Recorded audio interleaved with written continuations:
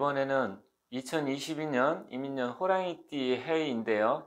호랑이띠들의 운세에 대해서 알아보도록 하겠습니다.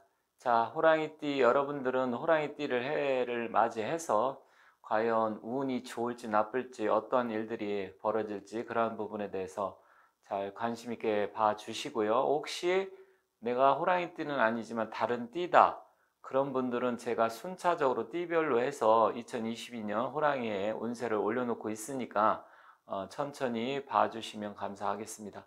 자, 미리 말씀드리고 싶은 것은 띠 하나만 가지고 모든 운세를 다 파악하기는 조금 어려운 점이 있습니다. 다만 그래도 큰 틀에서 그 띠별로 해서 대략 호랑이에는 어떤 일들이 발생하는지 알 수 있기 때문에 말씀드리는 거고요. 좀 더 구체적으로 자세하게 알고 싶다 하시는 분들은 어, 저한테 뭐 상담 의뢰를 하셔도 되고 아니면 어, 다른 선생님들한테 이렇게 상담 의뢰를 하셔가지고 좀 더 디테일하게 그 궁금한 점 문의하시면 되겠습니다. 또 한편으로 그러한 비용이 들어가는 것 때문에 좀 어려운 점이 있다 하시는 분들은 어, 인터넷을 보시면 개별적으로 이렇게 선생님별로 해서 지금 올려놓은 영상들이 많이 있습니다. 다만 어, 제가 말씀드린 것은 뭐 무속인하고는 좀 다릅니다. 무속인들이 말씀하시는 거하고 저희 같이 명리학을 공부해서 철학적으로 푸는 사람들은 좀 다르기 때문에 그러한 부분을 참고하시고 다만 또 선생님마다 조금씩 차이점이 있을 수 있습니다. 그래서 어, 너무 많은 분들 이렇게 말씀을 듣다 보면 오히려 헷갈릴 수가 있기 때문에 어, 본인들이 생각할 때 한 두세 명 정도의 선생님 거를 집중적으로 해서 보신다고 하면 충분히 여러분들이 원하시는 결과를 얻을 수 있다 생각하니까 그 점 참고해서 봐주시면 되겠습니다. 자, 22년, 22년은 뭐 다 알다시피 이민년, 이민년 호랑이 띠입니다. 자, 이 이민년의 이 호랑이띠 이 봤을 때 이 임이라는 것은 하늘의 천간의 기운으로서 수의 기운이고요.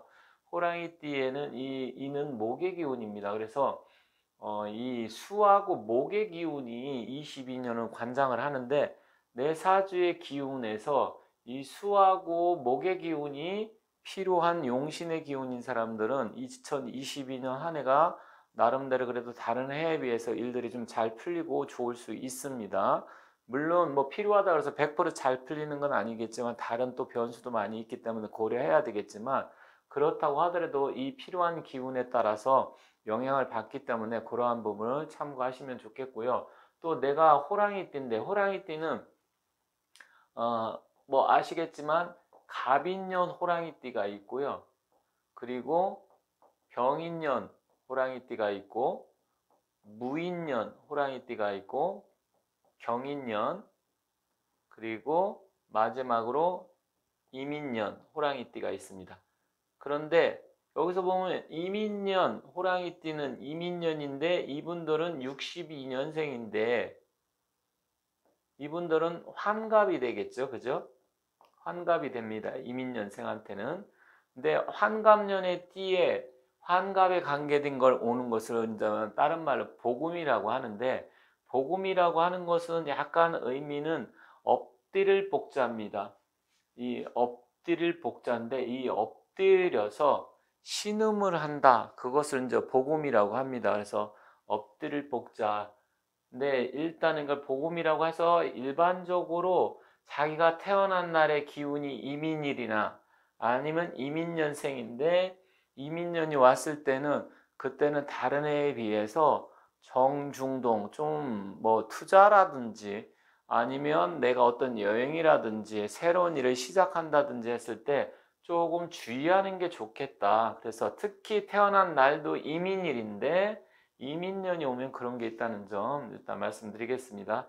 다만 이제 큰 틀에서 이렇게 다섯 가지 이 다섯 가지의 호랑이 띠가 있는데 어, 기본적으로 공통적으로 호랑이 띠들한테 발생할 수 있는 일 중에 가장 큰 일은 뭐냐면 이동과 변동수가 많다.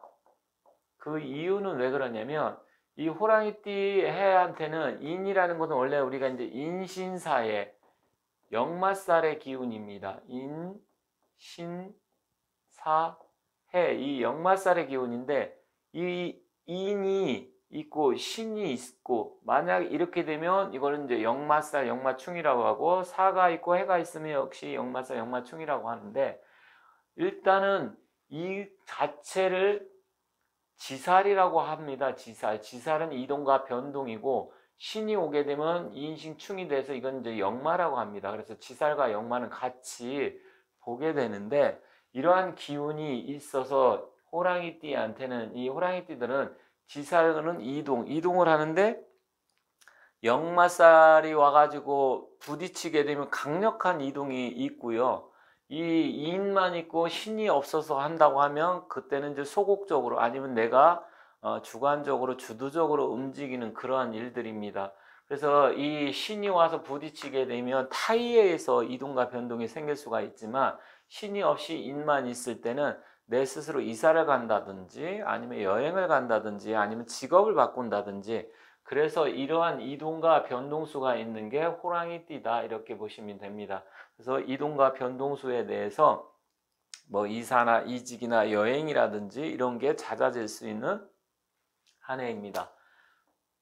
다만 이제 두 번째로는 여기 이제 복음이라고 있는데 복음 의미는 아까 말씀드렸듯이 엎드려서 어, 울고 있고 신음하는 형상입니다. 그래서 이 엎드려서 울고 있고 신음하는 형상이기 때문에 일단 이 읍줄을 음자 뭐 이렇게 우리가 읍줄인다 신음한다 뭐 이런 의미인데 일단 이 복음의 기운이기 때문에 이동과 변동 뭐 이런 거는 괜찮지만 내가 만약에 새로운 일 그러니까 새로운 일이라는 것은 우리가 이제 새로운 신자죠. 뭔가 시작을 하려고 하는데 특히 또 인이라는 것은 시작의 의미도 있습니다. 이건 봄철, 시작, 동방 뭐 이런 의미가 있기 때문에 시작은 하되 그게 좋은 쪽으로 작용하면 좋은데 좋은 쪽보다는 조금 안 좋은 쪽을 작용할 수가 있기 때문에 어, 호랑이띠들 같은 경우는 특히 이 이민 일주나 이민생 요거는 조금 주의하시는 게 좋고요.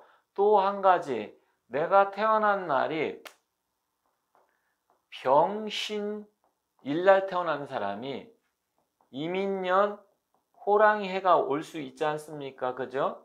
그러면 이 병신일주는 하늘의 기온 천충, 그 다음에 땅의 기온 지충 이래서 한 해 동안 정신적으로나 육체적으로나 아니면 실제로 일어난 일들이 천충, 지충이 돼서 굉장히 복잡하고 또 투자가 됐던 장사가 됐던 회사의 직업이 됐던 이런 부분에 대해서 안 좋을 수 있고요. 또 이거는 인신충과 하늘의 기운 그런데 이 병인 병신일 일주한테는 임이라는 건 편간의 또 기운입니다.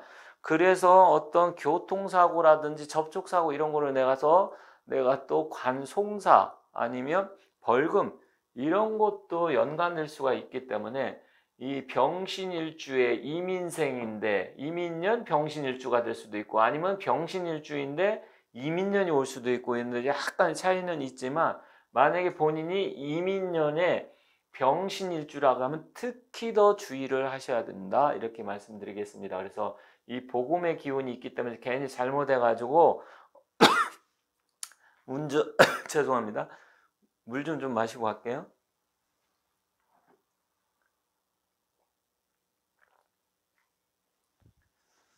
그래서 운전 같은 거 할 때 가급적이면 22년에는 좀 주의해서 조심해서 운전을 하고 또 여행도 가급적이면 멀리 가지 말고 또 여행 갈 때 그냥 차 끌고 그냥 몇 날 며칠 차박을 하면서 가는 것보다는 좀 주의할 필요가 있다 이렇게 말씀드리겠습니다.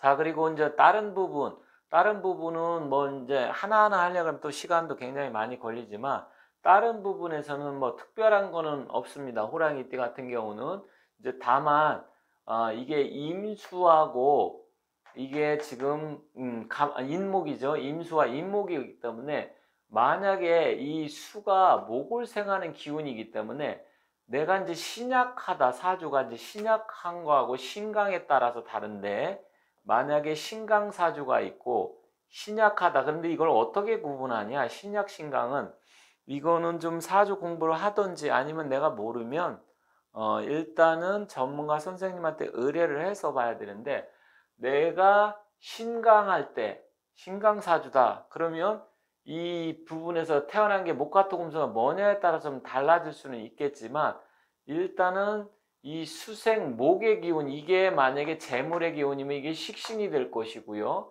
이게 만약에 관이라 그러면 이게 재성의 기운이 될 것이고 좀 다르지만 일단 신강한 사람한테는 뭐 나쁘지 않을 수 있습니다. 그렇지만 내 사주가 좀 신약한데 나의 기운을 이게 빼는 기운이다. 그랬을 때는 일단은 그 사람한테는 또 한 해가 나름대로 힘들고 어려울 수가 있어요.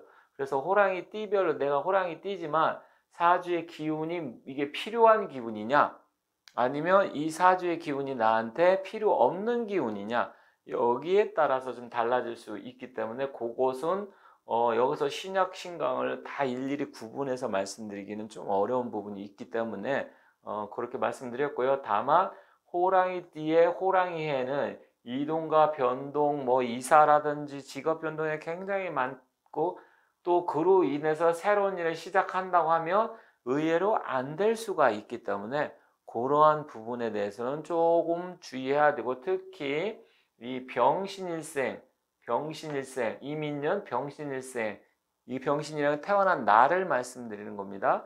근데 혹시 병신월도 좀 해당될 수는 있습니다. 병신월도. 그런 분은 더 주의를 해야 되고 나머지는 이제 신강하냐 신약하냐에 따라서 좀 달라지겠지만 어, 일단 그것을 알려고 하면 어, 구체적으로 본인의 사주를 좀 풀 수 있을 정도가 되어야 된다든지 아니면 그게 어려우면 어, 다른 뭐 선생님이나 전화해서 상담을 정식으로 의뢰해서 조금 추가적으로 구체적으로 보시면 되겠다 이렇게 말씀드리겠습니다. 그래서 정리를 하자면 호랑이 띠에는 한해 분주화가 바쁘고 이동과 변동이 많지만 일단은 어, 여기서도 이제 병인 어, 여기 병인 생한테는 조금 문제가 될 수는 있습니다. 왜냐하면 인신 아니 병임충이 되죠. 그래서 그러한 부분이 조금 있기 때문에 어, 띠별로 연도별로 조금 다를 수 있다는 말씀드리면서 어, 간단하게 마치겠습니다. 그래서 큰 틀에서만 오늘 이 호랑이띠에 대한 말씀드렸고요. 나머지 부분은 어, 물론 뭐 사주의 기운에 따라 다르기 때문에 다시 한번 말씀드리지만 어, 구체적으로 알고 싶으면 어, 추가 어, 문의를 하시라 이렇게 말씀드리겠습니다. 제가 지금 목 상태가 조금 오늘 좀 안 좋은 것 같아서 죄송하지만 여기서 끝내도록 하겠습니다. 감사합니다.